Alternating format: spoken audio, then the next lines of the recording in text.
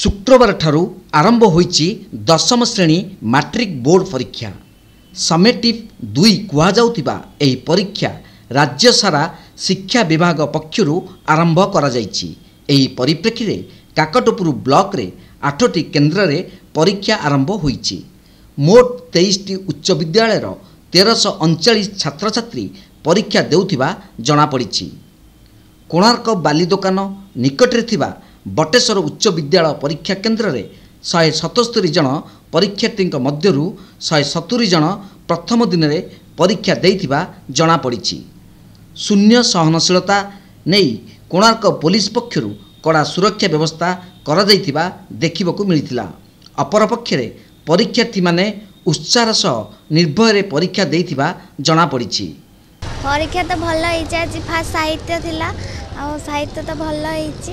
তো আজ আমার এসে টু এক্সামটা বটেশ্বর হাইস্কুলে অনুষ্ঠিত হয়েছে তো আমি আগর বহু সারা প্রিপেয়ার করলু কি আমার যেহেতু টেন্থ বোর্ড আম বহুত মানে দরকার এটা তো আমি বহুত প্রিপেয়ার করলু এপাই আমি পরিশ্রমর ফলটা যা আজ আমি পরীক্ষায় পাইলু আমার পরীক্ষা বহুত ভালো হয়েছে পরীক্ষা দেওয়া আসছি সমিটি টু আমি মানে পরীক্ষা বহুত উৎসাহিত ভালসে প্রিপারেসন করি পরীক্ষা দেছু পরীক্ষা বহুত ভালো হয়েছে ଆଉ ପରୀକ୍ଷା ବହୁତ ଭଲ ହେଇଛି ସେଣ୍ଟରରେ ଶହେ ସତସ୍ତରୀ ପିଲା ଆଲର୍ଟ ହେଇଥିଲେ ଶହେ ସତୁରି ପରୀକ୍ଷା ଦେଲେ ସାତ ଜଣ ଆବସେଣ୍ଟ ରହିଲେ। ବୋର୍ଡ଼ର ସମସ୍ତ ନିୟମ ଅନୁସାରେ ପିଲାମାନେ ପରୀକ୍ଷା ଦେଇଛନ୍ତି ଶୃଙ୍ଖଳାର ସହିତ ପରୀକ୍ଷା ଦେଇଛନ୍ତି।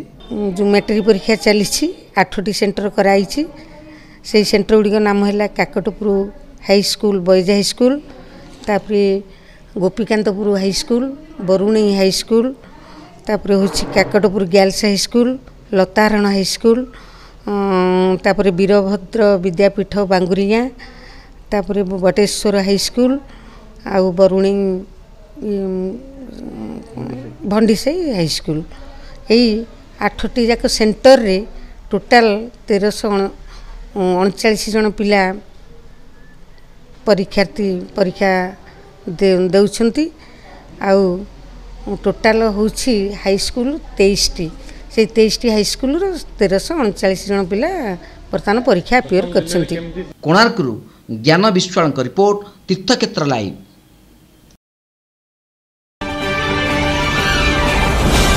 ତିନିଶହ ବର୍ଷ ପୁରାତନ ଐତିହ୍ୟ ଦୋଳଯାତ୍ରା କୁଲାଡ଼ାଠାରେ ଅନୁଷ୍ଠିତ ହୋଇଯାଇଛି।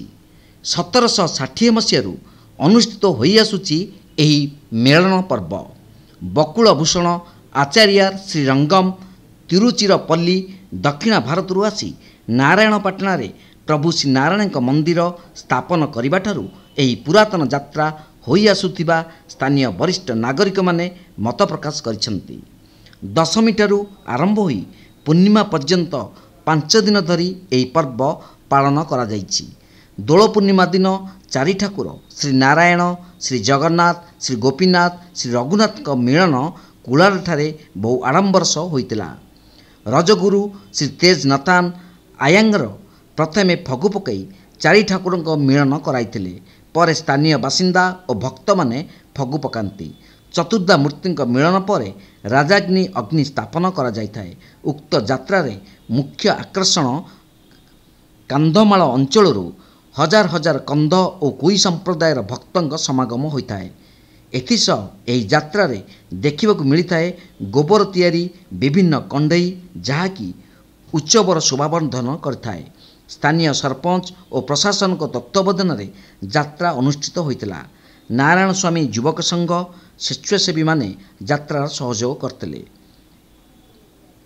ଭଞ୍ଜନଗରରୁ ଶିବଶଙ୍କର ପ୍ରଧାନଙ୍କ ରିପୋର୍ଟ ତୀର୍ଥକ୍ଷେତ୍ର ଲାଇଭ୍।